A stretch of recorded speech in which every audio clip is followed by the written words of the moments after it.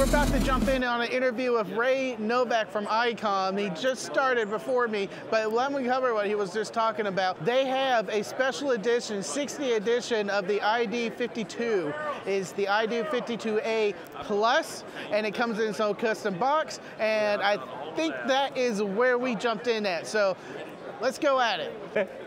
Well, Frank, Frank did come in, so we'll get we'll get the critiques out of the way first. Yes, it is a black battery on a silver radio, all silver all the way back. It matches my car perfectly. But there again, when you take a look at it, you, I mean, you stole my thunder there. I was talking about today's cars are multicolor anyway. Plus, you know you're going to take the BP 307 off your 705 and snap on the back of it. That way you got the, the full power all day long. Just like the 52, you got the color display. But here's where the, where the fun is, where the difference is. On the side of it, no longer a micro USB. Yes. You have the USB-C for charging as well as offloading data. So that is the biggest difference. Uh, the other one is the Bluetooth chipset that we're using. It's now an enhanced Bluetooth chipset.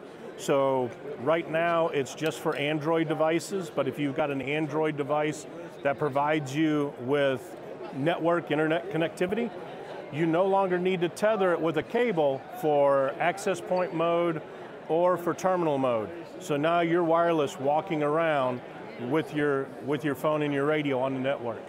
Those are primarily the biggest differences. Now, with the 60th anniversary model, if you don't want to do that, you just want to do the Plus, that will be coming out in September, October timeframe, but you got an extra wrist strap for the 60th edition. Uh, the, the other one will, be, will look just like your 52. If there's any firmware enhances, yeah, your older 52 would be able to do that, but the hardware changes, it's not going to be the same. Right now, all three versions are available for purchase, the 52, the 52 Plus, and then the 52 Plus 60th anniversary.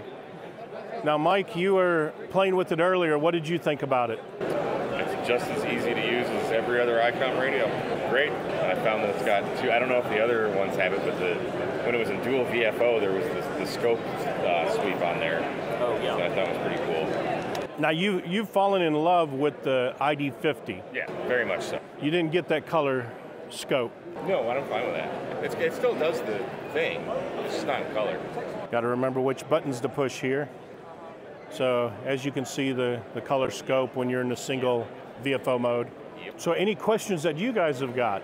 You said it's already out two days ago? We started shipping two days ago, yes sir. Uh, just one other thing, the guys from the D-Star use, no, I'm sorry, dstarinfo.com, they've already got the file for this, so you can download.